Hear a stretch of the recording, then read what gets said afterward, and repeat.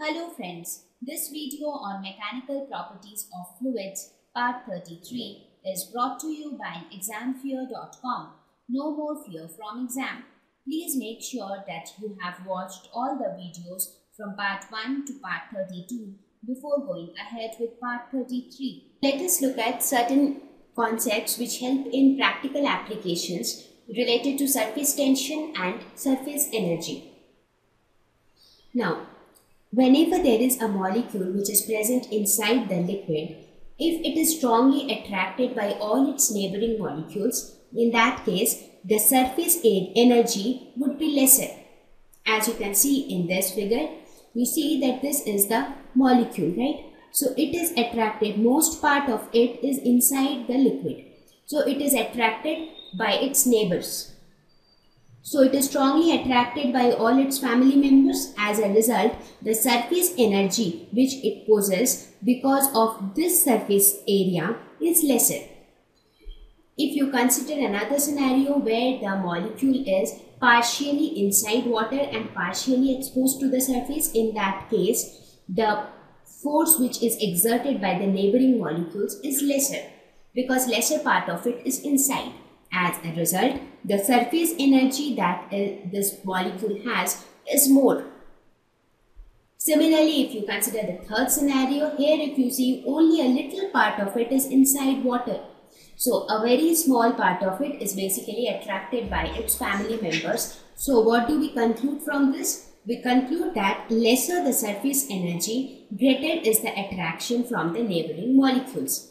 So we can say that a fluid will stick to a solid surface. So using the same concept, we can say that a fluid will stick to a solid surface if the surface energy between the fluid and solid is smaller than the sum of the surface energies between solid air and fluid air.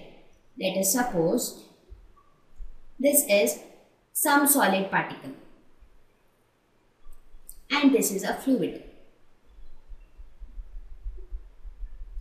So this fluid will stick to the solid particle if the surface energy between the fluid and the solid is lesser.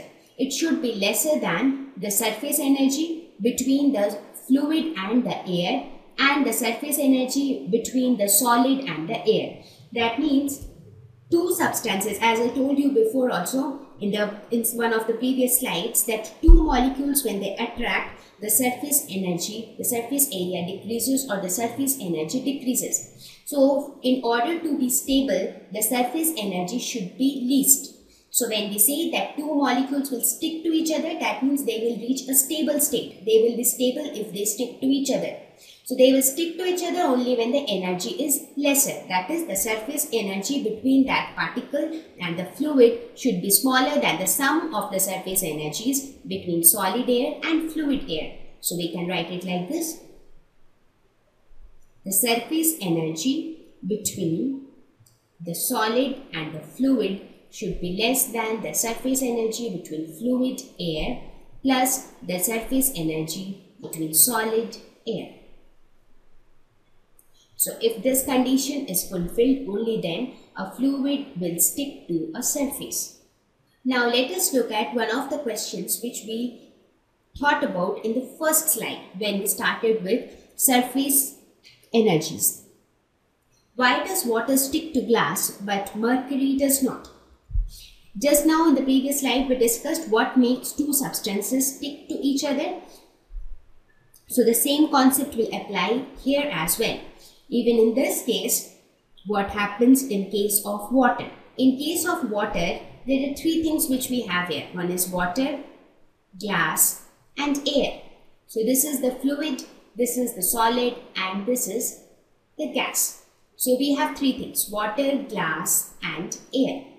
So in case of water and glass, so water sticks to glass because the surface energy of water glass is lesser than the sum of the surface energy between water air and the surface energy between glass air. So as a result, water sticks to glass. Whereas on the other hand, if you consider mercury, in case of mercury, we have three things again. mercury, glass and air.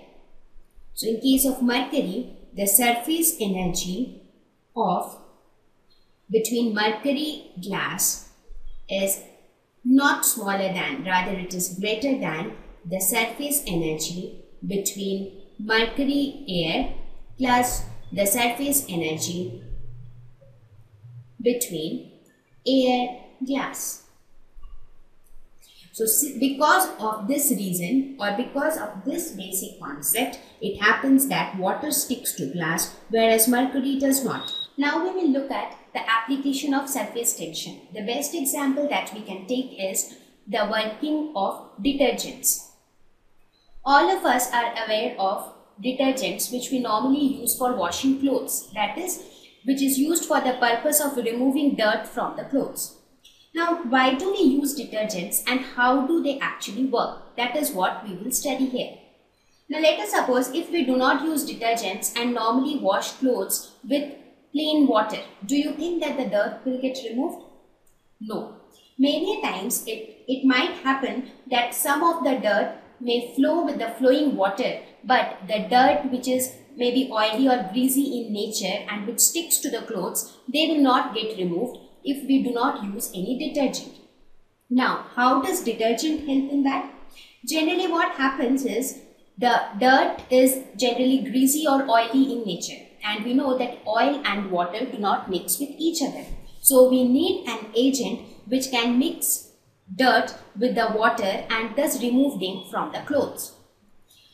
Detergent basically consists of molecules which are hairpin shaped. If you see it, you can see the shape as similar to that of a hairpin. On one end, it sticks to the water and on the other hand, it sticks to the grease. So what happens as you see, you can see in the first diagram, the first step where we can see that detergent is added to water. So these hairpin shaped molecules starts roaming around everywhere in water. In the second step, you can see that these are, let us suppose this is the dirt or the grease which are there on the clothes. This, these are the, this is your cloth. So these are the dirt on the cloth. So they are sticking to the surface of the cloth. Now once the detergent molecules come into picture, they, they stick, they, they get stuck to the dirt on one end and to water at the other end. As a result, the dirt gets accumulated and it gets attracted by these hairpin shaped molecules as you can see here. So the dirts are getting detached from the cloth. As a result, you can see that this flower shaped objects are formed in the water and the dirt gets suspended. If you see, the dirt is trapped between all the detergent molecules and since the detergent molecules on the other end is attracted to water, so all these dirt keeps floating in water and when the water is removed, the dirt gets removed with the water and it is detached from the clothes and therefore the clothes get cleaned. So that is how detergents function. So here also you see that the surface tension played an important role. This is how it worked.